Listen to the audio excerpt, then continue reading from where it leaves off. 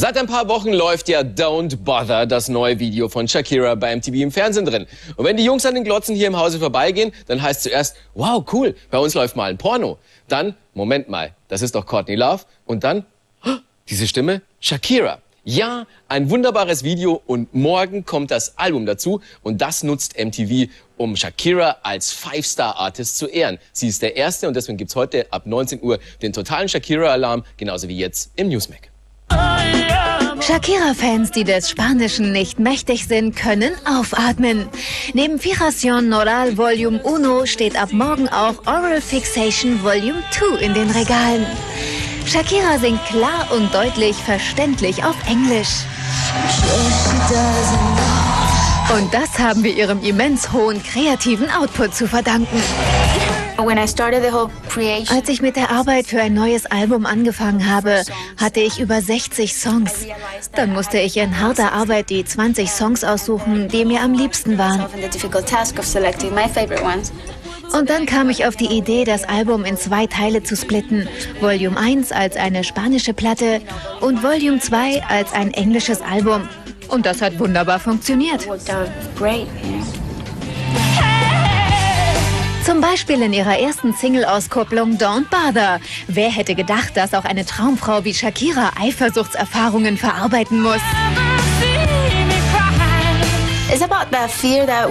Es geht um das Gefühl, das wir Frauen manchmal haben, dass wir von dem Mann, den wir mögen, verachtet werden, weil eine andere Frau hübscher, größer oder besser ist als wir. Und genau das hat mich zu diesem Song inspiriert. Got me inspired to, to talk about it. Doch dieses Gefühl lässt Shakira der Männerwelt nicht abschwören. Im Gegenteil, die Gute ist seit Jahren in einer festen Beziehung und denkt bereits an Nachwuchs. Ich möchte eines Tages Kinder haben und mehr Zeit für Gartenarbeit und zum Lesen. Ich lese so gerne. Ich liebe meinen Job. Es macht mir alles so viel Spaß. Aber trotzdem ist es viel Arbeit. Und ich mag das schnelle Tempo nicht und den Rhythmus. Ich habe nicht viel Zeit für persönliche Dinge, aber ich hoffe, dass mein Leben in zehn Jahren etwas ruhiger sein wird und dass ich trotzdem noch eine Karriere habe. My life can be a little more balanced. Mm. And still have a career. Den ersten Schritt, um das Tempo so ein bisschen zu drosseln, hat Shakira schon gemacht. Sie suchte sich ein abgeschiedenes Plätzchen, um dem stressigen Business zu entfliehen.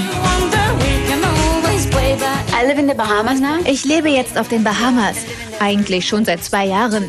Aber ich kann dort nicht so viel Zeit verbringen, wie ich gerne würde.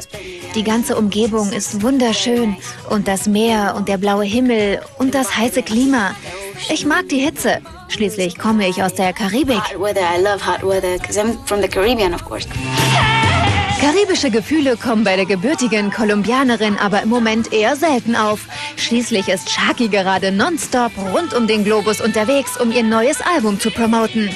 Nächstes Jahr wird sie dann auch wieder deutschen Boden betreten, um uns mit einigen Konzerten zu beglücken.